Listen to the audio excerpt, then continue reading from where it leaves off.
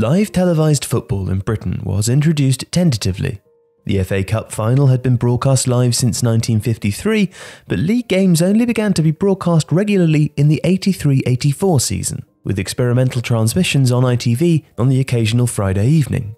The number of matches were restricted for two reasons. Firstly, in response to the game's fears that overexposure would reduce attendances, and secondly, because of the broadcaster's need to schedule matches for peak audiences. Nevertheless, it began a quick rise in the value of televised football.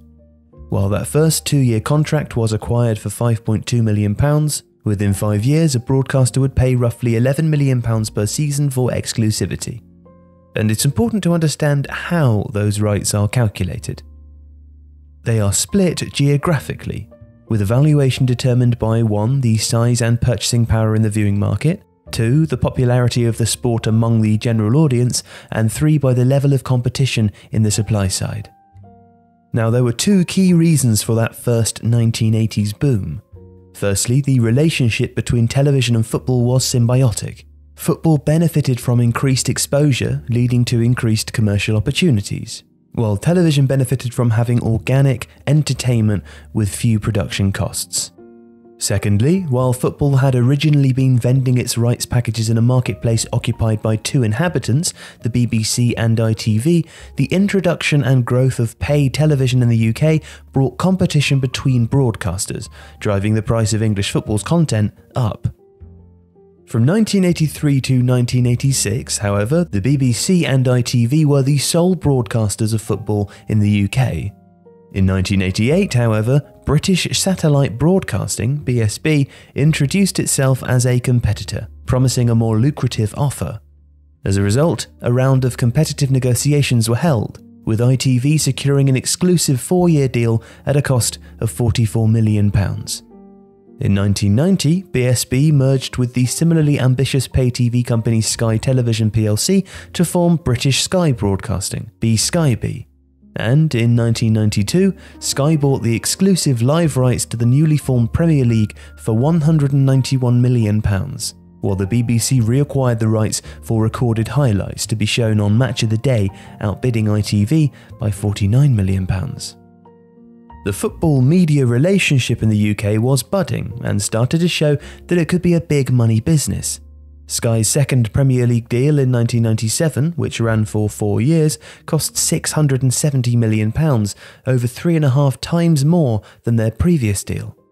In relative terms, however, certainly in comparison to the most recent £5.1 billion broadcasting contract, the costs of the rights packages remained relatively low, signposting investors towards the market and encouraging them to take risks for the potential of substantial rewards. In 1998, a pay TV service called On Digital was launched. The project was jointly owned by Carlton Communications and Granada plc, two franchises of the ITV network. Their targets were to be the primary competitors to Rupert Murdoch's Sky Digital and to have 2 million subscribers by 2003. The plan, however, did not get off to the best start. Sky's aggressive marketing made On Digital look unattractive, with the former acquiring 350,000 subscribers by April 1999, while the latter dragged behind with just 110,000.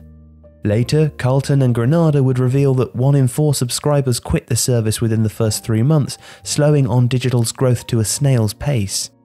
Going toe to toe with Sky was always going to be a war of attrition, and while both companies started to offer their boxes and satellite dishes for free in an attempt to undercut the other, Sky were better built to absorb those losses thanks to a history of profits and a larger existing customer base. On Digital attempted to play their one trump card, attaching itself to the ITV brand acclaimed as the most powerful in British commercial television by executives in an effort to drag itself, under its new identity, ITV Digital, towards profitability. In further attempts to mimic Sky's business model, ITV Digital decided to muscle in on the growing football industry while it was still relatively cheap. In the year 2000, they paid an astronomical £315 million for exclusive rights to the Football League meaning the Championship, League One, League Two, and the Worthington or now Carabao Cup, grossly overestimating the value of the content. Expectations that the company could keep up with Sky's metrics through showing the muddy kneed Football League in direct contrast to the more glamorous Premier League were deeply flawed. By October 2001, ITV Digital had just 1.3 million subscribers compared to Sky's 5.7 million. In fact, during the 2001 2 season, there were reportedly matches during which ITV Digital's audience barely exceeded the official attendance total. By 2002, rumours emerged that ITV Digital were losing £1 million per day. Behind closed doors, the company reportedly held desperate talks with the Football League to renegotiate the £315 million deal. They were bleeding hundreds of subscribers to Sky on a daily basis and, in a last effort to save the project, tried to negotiate a £130 million cut to their TV rights deal. The Football League, now increasingly concerned by the situation, rejected the negotiation on the basis that many of their clubs had already offered contracts to players based on the expected shared income of £105 million per season. But then, in March 2002, ITV Digital was placed into administration. By October, the company was liquidated. And Sky, ever the opportunists, picked up the Football League rights from 2002 to 2006 for £95 million, a snip in comparison to what ITV Digital had paid. The knock on effects were seismic and continue to be felt today. The collapse left £178.5 million owed to Football League clubs at a time when loss making in English football was already chronic. Furthermore, Sky's deal saw the Football League clubs make £75 million less per season than they had anticipated. Between 1992 and 2014, 58 clubs underwent insolvency proceedings at an average of 2.63 per year, in 2002 and 2003 alone, 16 clubs entered administration. In 2012, former Barnsley chairman John Dennis recalled the harrowing experience. Barnsley were regarded by most of our peers as a prudently run, sensible football club. In my time as chairman, we made a profit 12 out of 13 years, and the exception was the year that we went into administration. We were accused of being profligate for committing money that we hadn't received, but I've no sympathy for that point of view. It was perfectly reasonable to assume the terms of a properly negotiated contract with a properly constituted company would be honoured. Within two months of the ITV digital deal collapsing, so had the transfer market outside the higher echelons of English football. Now, if ITV Digital's business plan was careless, then the football leagues were completely negligent.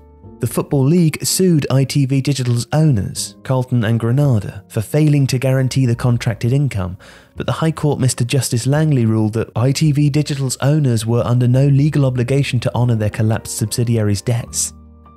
Possibly out of embarrassment and frustration, the Football League then filed a £150 million negligence claim against its legal firm, Edge Ellison, now known as Hammonds LLP, for failing in its duty to protect the league's commercial interests by seeking guarantees during negotiations with ITV Digital. Of the £150 million claimed, the High Court's Mr. Justice Rimer found only two breaches of duty for which he awarded just £4, stating that the league knew about the risks. The suit, which went on for four years, cost approximately £5 million in legal fees. So, what can be learnt from ITV Digital and its effect on football clubs? Well, primarily that bidding for sports rights can be particularly risky if overvalued. Perhaps more ominously, ITV Digital's crash demonstrated the interdependence between the sport and media industries. If one falls, the other will face serious repercussions.